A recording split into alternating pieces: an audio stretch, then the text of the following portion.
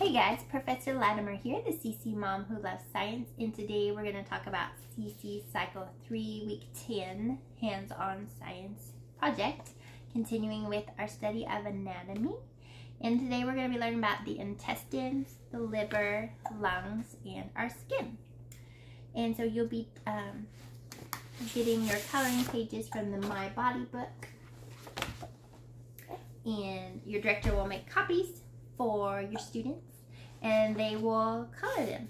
So we're gonna color our large intestine and also our small intestine.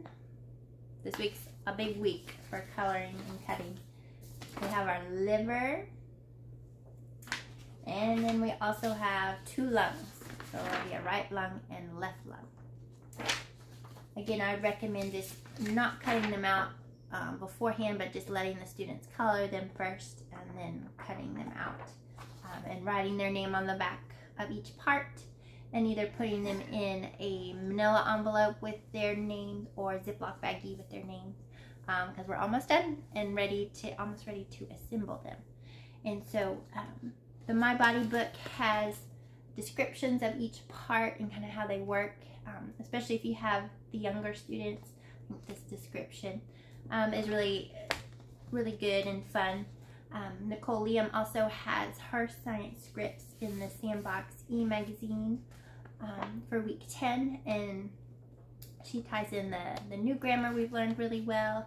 Um, like our intestines are part of our digestive system. Let's see if they can name all the parts of the digestive system. Um, and they send nutrients, water, and vitamins we need into our liver and circulatory system. And our lungs help us breathe and are part of our respiratory system and our excretory system. So we've learned about our excretory system how, and we've talked, we've done experiments too about our lung capacity and how we inhale oxygen and exhale carbon dioxide, which is the waste from all of our cells. And then we're learning about the respiratory system this week. And so um, just try to tie in that memory work when you can um, as we are coloring these parts and learning about them and um, figuring out why they are important to our bodies. And so um, just read to them as they're coloring and cutting them out and um, we're almost done. So we've got a lot to color and, and cut out this week but um, if we get behind a week 11 we're just doing our face so it's a good kind of um, catch up time if they've missed a week or still have some ones to color and cut out.